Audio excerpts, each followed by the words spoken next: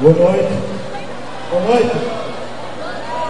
Estava aqui recordando quando em 2005 a gente deu início ao Festival Regional de Quadrilhas e naquela ocasião a gente percebeu que quando a cultura vazelegrense precisava ser valorizada, lembrada e praticada. E na noite de hoje queremos abrir era para esse ano ser o terceiro, por motivo de força maior, o ano passado não teve.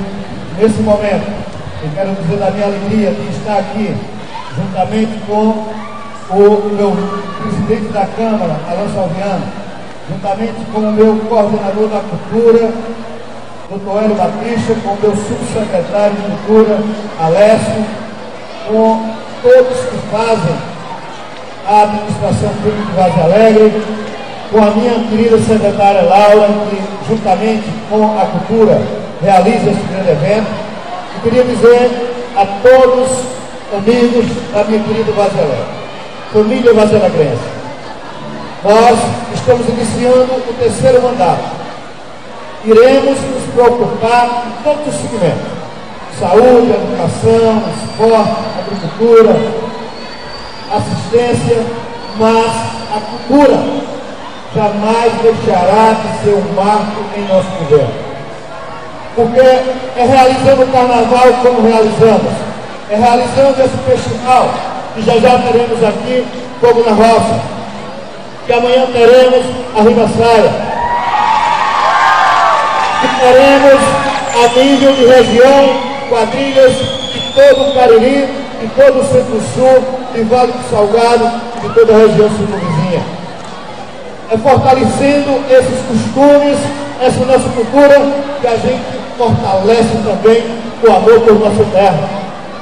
Meu querido presidente, toda cidade que tem uma cultura forte tem um povo forte. E eu tenho o privilégio de ser prefeito da cidade que fez nascer Zé Clementino, Padre Vieira, Didinho e tantos outros artistas da nossa terra natal. Diante de todos os valores culturais, não poderíamos, meu querido Alessio, meu caro do Noélio, deixar de valorizar cada coisa, cada canto desse querido Tornão Amado. Então hoje, com muita alegria, um pouco de atraso, porque a quadrilha de Iguatu faltou a este evento. Mas já iniciando agora, um fogo na roça, nós vamos dar início ao 12 Festival de Quadrilha, o primeiro deste governo, porque todos os três anos que virão, continuará havendo a valorização da cultura em todos os momentos que a gente estiver dentro do nosso governo.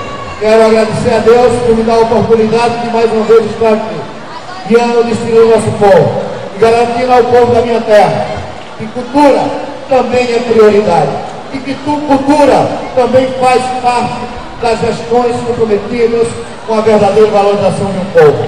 Um abraço, bom festival e São Pedro do Cessu é hino e reino em nossa pública para todos os brasileiros. Um abraço, querido